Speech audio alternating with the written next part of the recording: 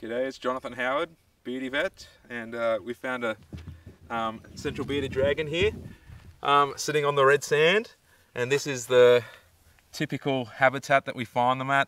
They'll be sitting on the road, sitting on a log next to the edge of the road, and um, as you can see, it's quite open country. That's how they like it.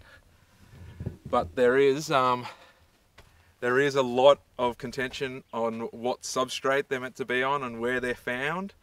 Um, we hear stories, oh, they're on clay soil, they're on compacted soil, they're on rocky outcrops. As you can see, there are no actually rocky outcrops out here. Um, it is red flat sand and the mulga trees around.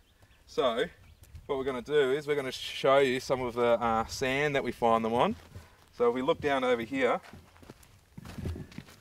so it's quite soft. I don't even have to use a shovel to dig that but it's got a little bit of a crust on the top. And uh, once you go down a bit it's a bit firmer but the beardies can dig into that and form a burrow. It's not a very strong burrow it's quite crumbly. And if we get the shovel out they usually build their burrows up on the bank here.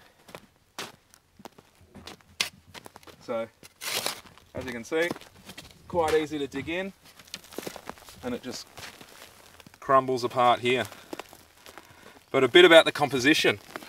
So, instead of guessing what it is, I sent some of this sand off to a, uh, the lab at uh, Southern Cross University and the result is in.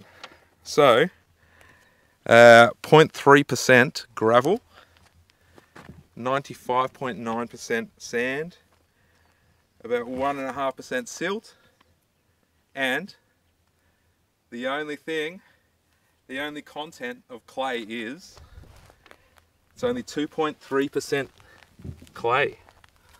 So, not much clay at all. So, myth busted.